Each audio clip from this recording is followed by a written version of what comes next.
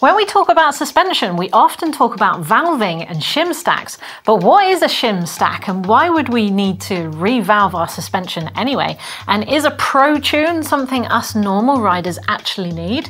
Well, let's head to California and find out from Fox. So before we head to California and speak to Fox, let's just explain what valves and shims actually are. Because in virtually all modern suspension, both shocks and forks, you will find a damper inside. It looks a bit like this, so this would be in a fork. Now inside this damper will be oil, and that is there to control the rate at which your suspension moves. And in order for this telescopic part to move inside itself, to move through the oil, you will need a valve with holes in it so that it can pass through. But also, changing the size of those holes in that valve can control the rate at which it moves inside itself. We can make it easier or harder to move and therefore change the damping characteristics of that damper. And also, on top of a valve, you usually get a stack of shims, so circular discs of metal that can flex and control the way the oil passes through the holes in the valve. And that further tunes your suspension and how it feels. Now, that's where we get terms like light tune and heavy tune as we control how easy or how hard it is to move that damper through the oil. So, do we need to be mucking around with these shims and valves after we've bought the suspension, or should we just trust the manufacturer? Let's head over to Fox in California and speak to Sergio about it. Sergio, thank you so much for having us here in You're Fox welcome. in California. Uh, I think this is a perfect opportunity to get people understanding what's really happening inside um, suspension and shocks. So you have different tunes for different bikes, obviously, and you will work with uh, frame manufacturers to come up with the right tune. So how do you go about doing that? One of the first ways is historic, and that's obvious. Obviously, the bike hasn't changed or it's changed a little bit. But if they decide to reinvent their frame, for example, uh, one of the major things they like to mess with in mountain biking is the kinematics of the rear end, and that's the leverage ratio.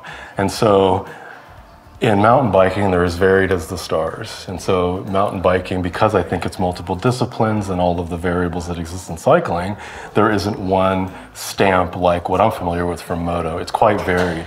And then you throw in the anti squat characteristics. When anti squat is basically when you pedal your bike, the pedaling motion works to either extend or compress the rear end.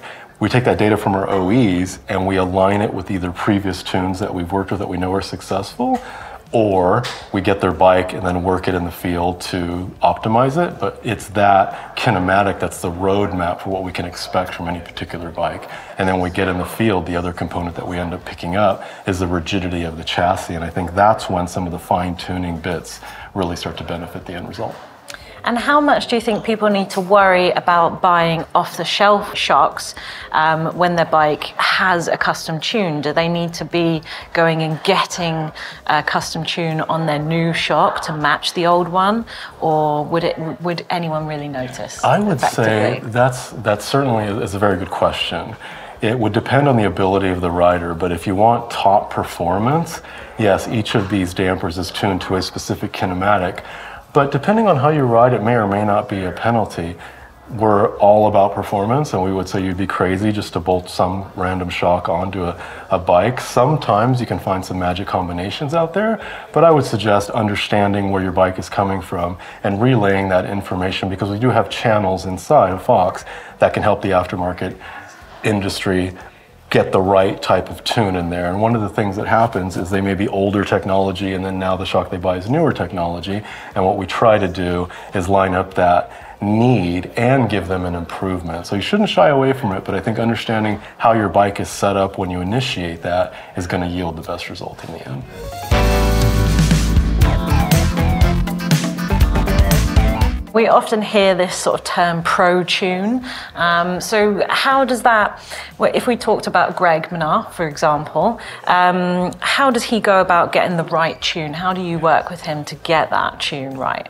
that that role is primarily handled by Jordy's team, so I'm sort of watching about that on the outside. But what they're doing, and this is very similar to what it is in supercross racing for me, is the regular customer will have more general statements about deficiencies in performance. Somebody of the caliber of Greg Minnaar is going to point very, very specifically at a specific point, which makes the tuning solution a little bit more obscure. It's a little more challenging, actually, quite a bit more challenging, because they're not talking about a big footprint. It's just this little moment in time that they're having an issue.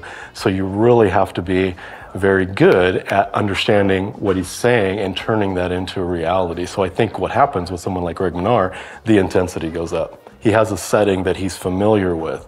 And for him to do what he needs to do, that bike needs to be familiar. So even though looking at his bike, you may have some wondrous ideas about what he needs, you can't really vary too far from what they want and expect them to be able to perform at the highest level. And I've seen it before where you, a team will drive a rider to a certain way because they have a fundamental belief, and that rider doesn't perform or, or um, or flounders, let's say, but really giving them what they want is an extra, is exercising us and our ability to really return what they want, and that's the challenge. So now, as the PPT, this team interacts with racing. We're currently out with Neko Mulally in North Carolina and his team. We've been testing for three days, but applying these methodologies to them, what they found is exactly what I mentioned. The OE is more generally concerned with the handling, where Neko has really pointed down and stretched the ability of the tuners, and it's been quite wonderful because that learning experience is accelerated. It's been quite wonderful.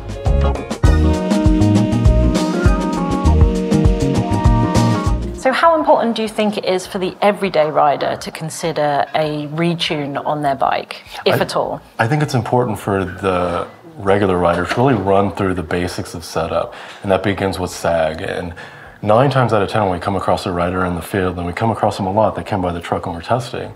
That's the first thing we find wrong, and it's a little bit frustrating because it is one of the most simple adjustments. But you set your sag front and rear, and you get that dialed, and then you bracket the adjusters, and that just means moving the adjusters to their range.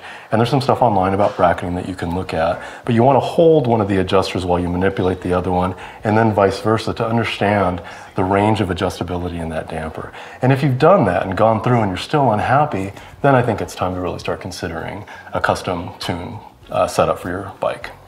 Now, one of the big changes on your new Grip X and the uh, Grip X2 uh, and the Grip SL um, is that you've changed the um, the shims in there. You've given more space for more shims.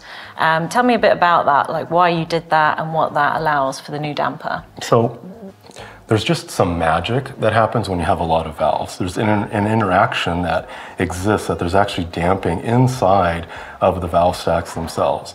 And so that's one component. But the reason that we did it here specifically is the details that we need to get into when I'm testing with you, for example, when you have some kind of issue, say you're entering a corner, you hit the brakes and it's going in too deep or it's not going in deep at all. When I have seven shims to pick from, if I move one of those pieces, it has a pretty significant impact on all the other velocities and all the other forces that are generated. With a lot of them, I can go in there and pull one out of the 23, for example, and it doesn't affect the other areas. So what we want to do is identify, for example, your problem is low speed, entering a corner, it doesn't settle enough. The high speed's fine. So when I make that change, I want to make sure that I just target what you're after and leave the parts that are good. Otherwise, I'm going to mess the whole thing up. With 23 valves, and it isn't a magic number, it's just a lot more. I would say 46 is even better, 70 is even better, because it's just like a fraction, one seventh versus one twenty third. That's really the like the number of the precision that you're going in and doing. And maybe the regular guy doesn't need that level of detail in, in their writing, but to get the setting to be global, that's when we needed that level of sophistication in there. And with that was one of the early indicators that Grip 2 was limited. Like we started needing more space in there, and we started falling short and finding compromise. And engineering was saying there's no room boom, they went bigger, and then there it was, and we just filled that up as quickly as we could. And it was really not just throw all the shims in there. Lucas Hart is the one that did the primary development work on there, and he found his way to more shims, and it got better and better and better. So it was really what we believed in theory and from my practice in motorcycle racing applied to a bicycle damper, and it lined up line on line, and it's given us really fantastic latitude and precision and tuning. And the cool part is with that many valves, if you are going to get your stuff valved, now you can pick from there and not impact the general performance of it. But I encourage people to understand the capability of their damper because we've worked really, really hard to make it so you can cover the range. And uh, like I said before, if you find yourself um, unhappy with your performance and you've run through the gamut of adjustments, then I think it is time to make an adjustment. And uh, so, Fox, as a company, background is motocross. You as well, Yeah. background motocross. Is there some like real massive differences between motocross setup and tuning to mountain bike setup and tuning? Um, as much as people try to convince me that there was, there really isn't. and it's, it's, it's funny. It's even the same. As a suspension technician, what you're looking at is what's the wheel doing and what do I want the wheel to do. And so add two more wheels to turn it into a car. I worked on the PVG side and did side by side work and some asphalt work. It's the same thinking. You're looking at the driver, he's telling you the wheel is doing something he likes or doesn't like, and how do I get this thing to move easier or make it more difficult to move? What velocity, what position? So the thinking is actually quite similar. I would say with a bicycle, obviously the big difference is pedaling, but all of those physics are the same as a motorcycle. You just have a throttle versus a pedal. So for me, I could close my eyes and I wouldn't even know the difference. It just doesn't smell like gas. So, technology has really moved on with suspension, and even when we saw the recent RockShox Charger 3.1 damper released, we know now that the window of tunability on a fork is so much broader than it ever was before. And maybe we don't need to be mucking around with valves and shims, but the option is certainly there if you fit outside of an average rider's weight or ability. Um, but let me know what you think. Let me know down in the comments below. Have you got a revalve, a shim stack tune? Um, what did you get and did it make any difference? Let me know down in the comments below.